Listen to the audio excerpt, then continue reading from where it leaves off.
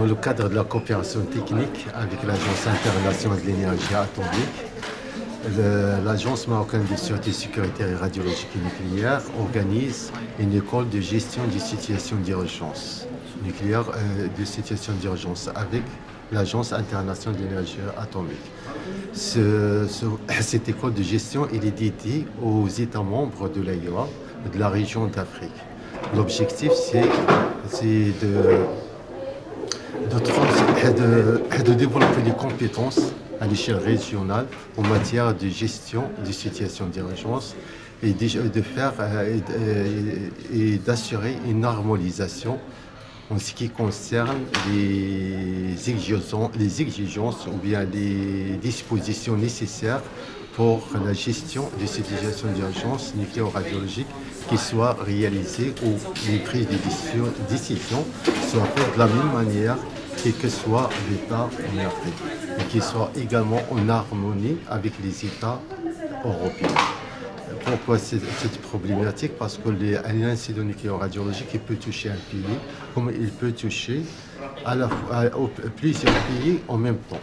Donc les arrangements qui doivent être mis en place pour assurer la protection des membres du public d'une façon générale ainsi que les biens de la société soient euh, réalisés de la même manière et même au niveau de l'échange d'informations entre les États soit fait de la même manière pour qu'ils puissent être compréhensibles et qu'ils agissent de la même manière. C'est l'objectif principal de cette, école de gestion. C'est de développer les compétences d'une part et d'harmoniser les exigences ou bien les, recommandations, les exigences, ou bien les, arrangements nécessaires à la prise euh, de décision, en cas d'un incident nucléaire ou radiologique. Nous sommes venus participer à cette formation que le gouvernement marocain a organisée avec euh, l'Agence internationale des atomique. Euh, un cours de formation sur l'école de gestion des urgences radiologiques et nucléaires nous sommes très contents. D'abord, nous félicitons le gouvernement marocain pour l'initiative prise euh, comme leader hein, de l'Afrique. Euh, non seulement l'Afrique francophone, aussi l'Afrique anglophone pour, la formation de, pour cette formation qui est très importante dans notre région africaine. Euh, nous remercions aussi l'AIA pour son concours pour cette formation.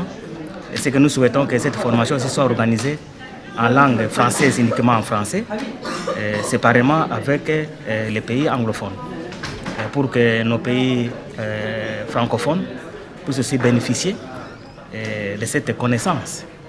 De cette connaissance.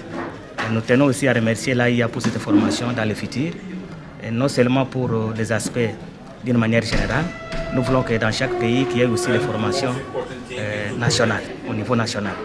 Former le personnel médical, former les premiers intervenants, tels que la police, tels que les agents des frontières, euh, qui travaillent au niveau des frontières, parce que quand il y a un accident radiologique, c'est le concours de tout le monde. Donc de tout le monde, nous souhaitons que ces formations puissent être étendues à toutes euh, les couches de la population ou des travailleurs selon euh, les domaines de chacun. From the IAEA, Uh, we're here to present the School for Radiation Emergency Management, and we are very excited to be hosting this school in Morocco. It's the first time this school is being offered for the region in the region. Uh, what the school does is it uh, is a comprehensive training to train the next generation of emergency preparedness and response uh, teams and provides an opportunity for different lectures, uh, working sessions, and tabletop exercises to really prepare for anything that could occur in the future. Euh, je m'appelle Jihan El donc je fais partie de l'équipe Abus Nord, nouvellement recrue. Euh, je participe aujourd'hui dans euh, de School of Radiation Emergency euh, pour avoir cette base en matière de sécurité et sûreté nucléaire. Euh, donc, euh, comme n'ayant pas des fondamentaux en matière de, nucléaire, j'ai décidé de faire partie de cette, manifestation. j'ai le plaisir de l'être. Ça va durer pendant trois semaines. Il y aura plein de cours en matière de radioprotection, sources, la matière radioactive et vice-versa. Donc avec la participation de différents pays notamment le Maroc, nos voisins l'Algérie, Tunisie, euh, d'autres pays euh, un peu lointains comme Zambia, Burkina Faso et autres. donc je, pense que ça va être une bonne expérience pour moi, pour mes collègues et merci.